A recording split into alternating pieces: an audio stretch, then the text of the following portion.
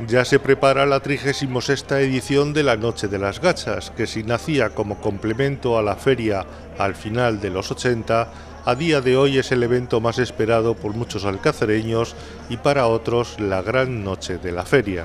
Pero, pero que la, de verdad es la noche más importante de la feria, por lo menos para mí, sin ninguna duda.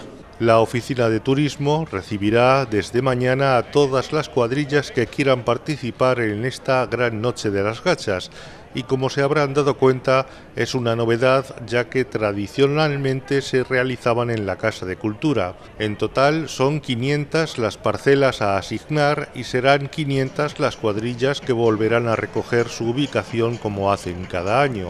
Y siempre, siempre, siempre pues, pues vamos con la familia, con los amigos incluso mis hermanos, que algunos no viven en Alcázar, eh, la noche, la noche del 7 al 8 siempre viene a la feria para, que vayamos a, las gachas todos juntos y, celebrarlo.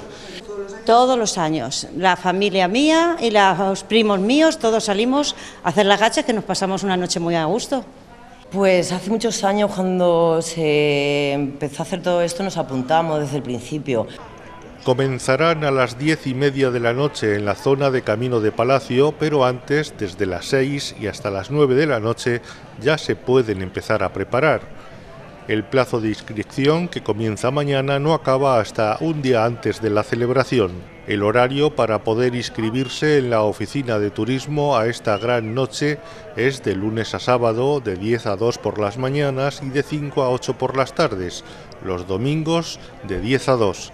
En cuanto al resto de demostraciones gastronómicas, la de la pipirrana ya está completa y del resto aún quedan plazas.